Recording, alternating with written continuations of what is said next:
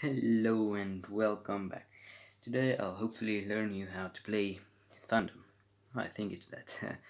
okay, so you want to play this one, this one, this one, this one, this one. For each time you play, you put one of these in between. So it goes like eight times. Then you move to these.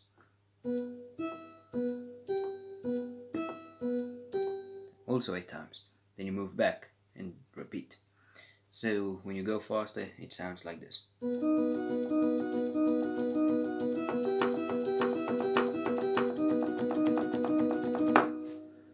Mm, yeah.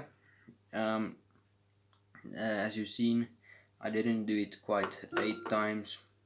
You're supposed to do it eight times, but yeah, I don't like it. So yeah, hope you enjoyed and see you next time.